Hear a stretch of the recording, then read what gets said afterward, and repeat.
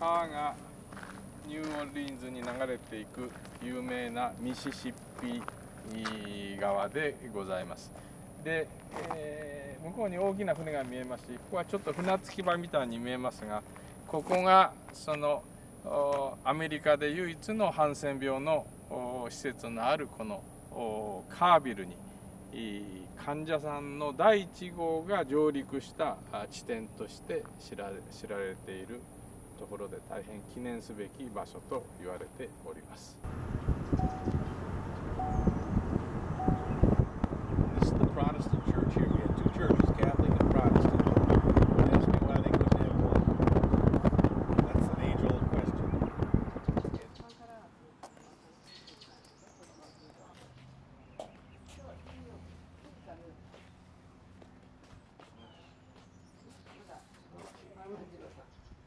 Armadillo cross. Hello. Mr. Pete, Sorry, this is Mr. May, Sasakawa. May, may, this is Mr. Pete Peterson. How are you doing? I'm from the okay. United States Virgin Islands. Okay. okay.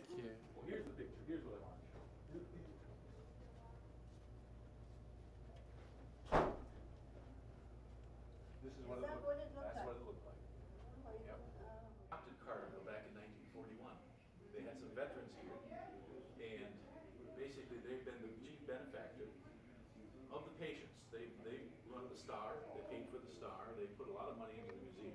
They give us a stipend every year for that. And they come and visit and they, they have all these bands and stuff. Would you know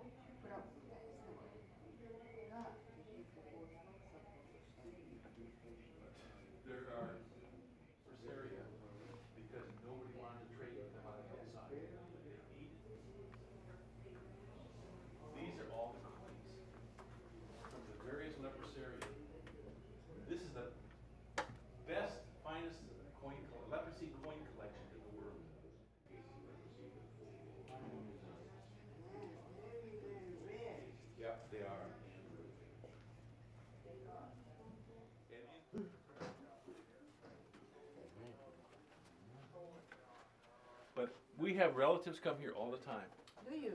to, yeah, and they, they want some closure. You know, they got an uncle or something they heard is here. Where'd Vicky go? Vicky? Yeah. Where's your bag?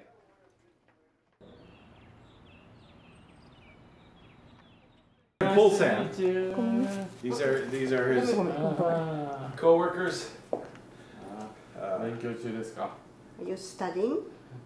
Yes. Studying, yeah, he's working on. そうですね。もう今もう あれですかちょっとお話し聞いていいいいでしょうここは住み心地がどうですか How's your home here? Must be very comfortable. Because we came today and made a visit and it's so beautiful. You must be enjoying your Okay. life here, your home here. Okay, so we were there right on time. Hello. This is Mr. Sasakawa. This is Mr. Perry Enriquez. Yes, yes, yes, yes. yes. Can I? Uh, Is it okay? Video. you look very young. I'm so surprised. And under the two. 102. wow. But how old were you when you came to I, I, California? was, uh, I, I think I was se- 18 years old. Oh, just by yourself? Yeah. 一人でね、18歳の時に来ました。 Oh. The old recreation building. This was, this was a big deal. When they built this, they, They had a movie theater here, still there, and a ballroom upstairs for dancing. So this is two mile. Oh, yeah. From from there to All the way around. 素晴らしい施設ですけども、もうここは使われてないんで、みんなこの通りガラス窓がありませんけども、他の施設はみんな綺麗です。行きましょ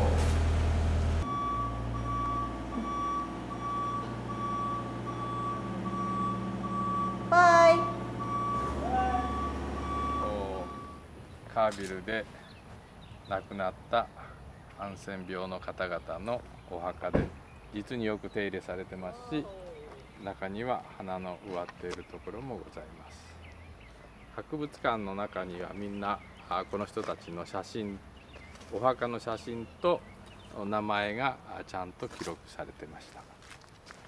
でこのお木はピーカンという木で、えー小さなナッツがなってこれが大変患者さんたちが好きなナッツだったそうです。見えるでしょうか？あのコカ・コーラの瓶が底の方からこう並べてこういうふうに埋めてあるんですけどもこれはあの昔コカ・コーラを皆さん好きで飲んでたんですけどもココカ・コーラ会社が瓶の引き取りを拒否したために、えーここのカービルではコカ・コーラの瓶がいっぱい溜まってしまったそうです。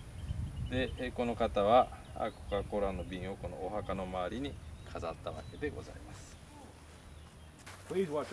これがあの、えー1923年に亡くなられたルイス・アあルイス・アルトさんですからこれが患者さんの死んだ番号でナンバーワンでございます。ナンバーワン1923年。